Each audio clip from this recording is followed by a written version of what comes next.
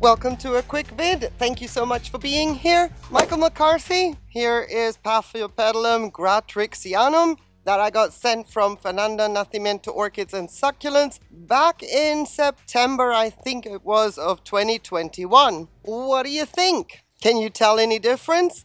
Can you see any improvements? This little orchid has been quite the trooper and has come a long way with its spectacular backup support of a PVC kind of decorative plastic structure that sort of looks like faux coral. I did a video of potting up the orchids from that shipment. It was called Orchid Potpourri, Orchids Potting Up Something Five Ways. This was one of the ways I decided to secure my rather weak arrival of this Gratrixianum. She had been through a lot and needed all the support she could get. As you can see, I gave her maximum support. I'm going to link that video in the description. So if you're interested, you can check that out and see how I got this orchid into this pot to stabilize her with this beautiful peacock backdrop. It is quite amazing. It has worked beautifully for me. I had one little root to work with. That little root still exists, but there have been some root development since then. I probably have about two or three more in there. Forgive me for not rummaging around in the leca, but trust me, this orchid is now not loose in the pot anymore. And still, I do not want to remove that beautiful support in the background. Eventually, it will come out, but that'll probably take another year or two in the meantime. Time it is not bothering me. And I must say, it looks quite elegant matching this beautiful Paphiopedilum. The reason I put that support in there is because of the word support. It needed all the help it could get. It was very floppy, very small. The old fan has since died off. And what I was left with, I did not exactly want to stake up and also I did not want to pinch off the base of the orchid. So after having had wire around her at the base, Trisha's Orchid Life sent me some plant Velcro, horticultural Velcro, and that is so much more forgiving. I have added that at the base. I would say she doesn't necessarily need this anymore. She is doing really, really well, but I feel a little bit safer maneuvering around this orchid where she lives because I have this whole frame to be mindful of as I walk around that space. That frame protects that orchid from my clumsiness, and that's why that frame is going to stay. Should I see any flopping in the leaves as well, I don't want anything to be kinked at this point in time.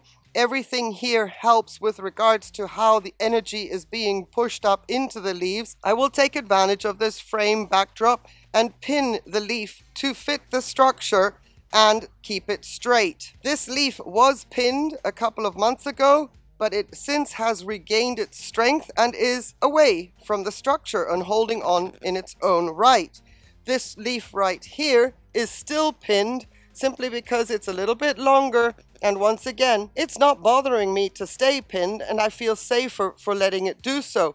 But you can see how beautifully things have progressed here compared to when she arrived. There's also a tiny little new growth right at the base there. I also have the leca mounded up here a little bit because that is where the original root was. During the months, I have seen roots growing out of this area right here. They're in the pot. So she is progressing really, really well. Right now, all that's happening in the pot is just a soak of plain RO water.